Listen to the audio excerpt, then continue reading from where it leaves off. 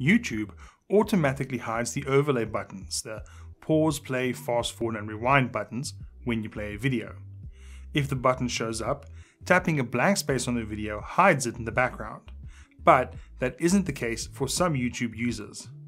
If your overlay isn't going away, here are some potential fixes. First, force close the YouTube app.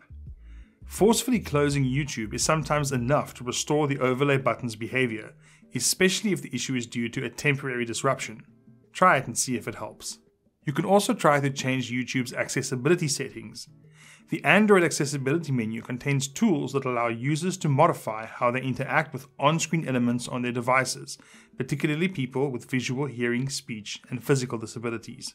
The YouTube mobile app for Android devices also has an accessibility option that lets users with disabilities easily control video playback. When enabled, the player controls stay on the screen permanently. There are two things you can do to make the overlay button fade into the background. The first is to disable the player's accessibility option. The second is to configure YouTube to hide the player controls after a fixed period. I'll show you how to do both. As mentioned earlier, only the Android version of the YouTube app comes with a built-in accessibility option in the settings menu. Here's how to make the YouTube pause button and other controls disappear during playback using this setting.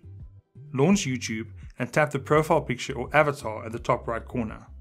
Then select Settings. Next, select Accessibility. Toggle the Accessibility Player option off. Let's say you use the accessibility feature, but you also don't want the player controls glued to the screen while watching videos. What can you do? Simply set a timeout for the player controls within YouTube or from your device's settings menu.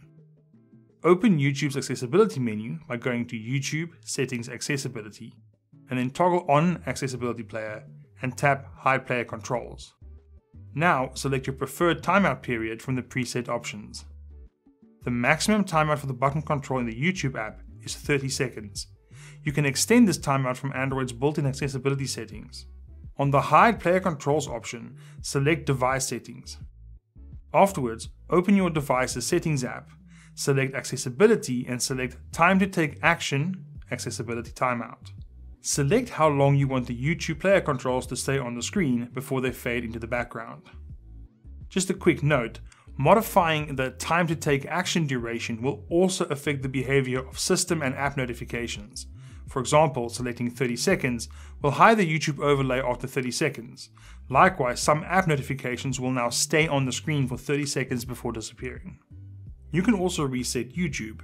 This is similar to uninstalling and reinstalling the app, except that you cannot uninstall YouTube since it's a system app on Android. However, you can reset the app to factory defaults and re-update it from the Play Store. This could help eliminate bugs causing the overlay buttons not to disappear. On the YouTube app info page, tap the three dot menu icon on the top right corner. Then select Uninstall Updates. Select OK on the confirmation prompt. Wait for your Android device to uninstall YouTube updates, restart your device, and then re-update YouTube from the Play Store. If you still aren't getting that pause button to go away, check out the article linked in the description below for more advanced fixes. See you next time.